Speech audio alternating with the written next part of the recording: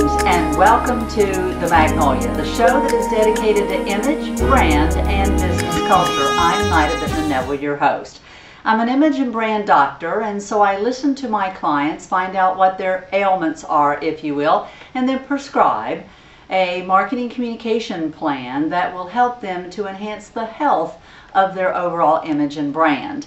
Now, what I've been doing is working on all of my social networks. And I decided that I wanted to share with you today some techniques to help you avoid sabotaging your online personal brand. Because online marketing and your personal branding has become quite important in this day and age. Most everyone is getting into the swing of things, if you will, and joining the online social networks. But there's a few things we really need to consider. And I want to share with you five uh, techniques, if you will. The first one is if you are out there in the social network, what you need to do is Google your name, your company name, at least twice a month, if not more. Just depends upon how often you actually are appearing in the world of the social networking. But Google yourself to find out what is being said by you. Why bother? Because, you know, a personal brand, we all have that personal brand. And the online world of personal branding is caused by two things. One is the information that you place in your online profiles, and the second is what is being said about you. And so we really want to try to manage, if you will, that online personal branding. Now another reason, particularly if you are looking to find a job for, for example, 64% uh, of human resource managers, it recently said in a Microsoft study, are, feel that it is appropriate to view online networks and profiles of their potential candidates for jobs.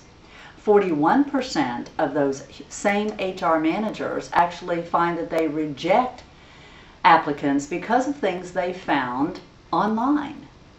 So it's very important that you really think about how are you going to position yourself?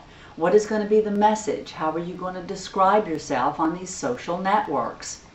And we don't want to spread ourselves so thin that we really are very ineffective. No, what we want to do, the second thing I want to talk to you about is that we really want to spread ourselves very adequately like a wonderful peanut butter and jelly sandwich.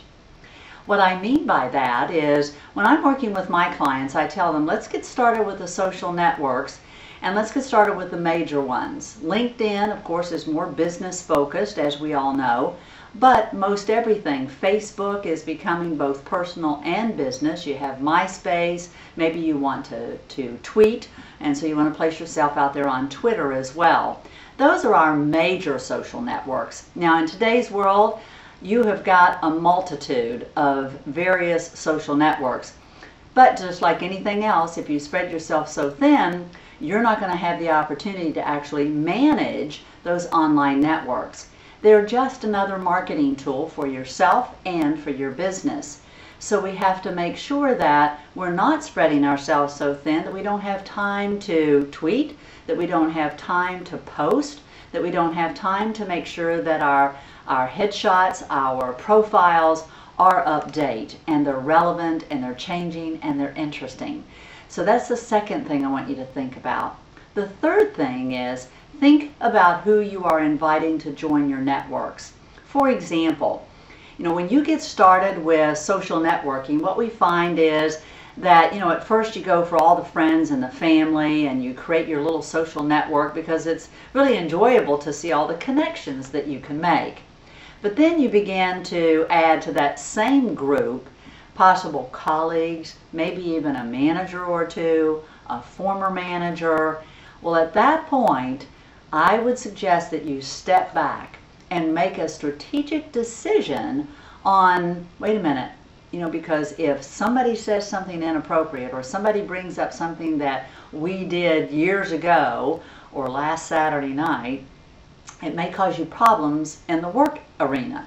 So what you may want to do is have that profile, if you will, and have that to be for friends and family. And then create yourself um, on Facebook, you can create yourself a fan page and you can use that for more of your professional world. So really think about what the impact might be as you, if you want to continue to combine uh, those personal relationships with those business relationships. And fourth, you know, I want you to think about what you're actually, what your content is, what you're actually saying out online on your social networks. What you don't want to do is fill it with me, me, me, me, me. Everything about me. I've done this. I do this. I did this last week. Because pretty soon people are going to start to think, my gosh, I'm so sick of hearing about what they're doing. You know, they never say anything about what their friends are doing or what their company's doing. So think about ways that you can promote and compliment others in addition to what you might say as far as self-promotion. Maybe you visited a restaurant last week and you had great service and great food. Share that. Maybe there is a business technique that you have found about becoming better organized and you want to share that. While that's still a little bit of self-promotion, you're really sharing something that you are hoping that, that others will benefit from just like you did. So again, that fourth thing is helping to promote and compliment others and not doing totally the me, me, me, me world. And last, and the fifth thing is as you consider your presence and your positioning in the world of social networks, be consistent. For those of you who have known me uh, and, and who know and watch the Magnolia on an ongoing basis know that I talk about consistency a lot because that is truly how you build a personal or a business brand. It's that continuous consistency.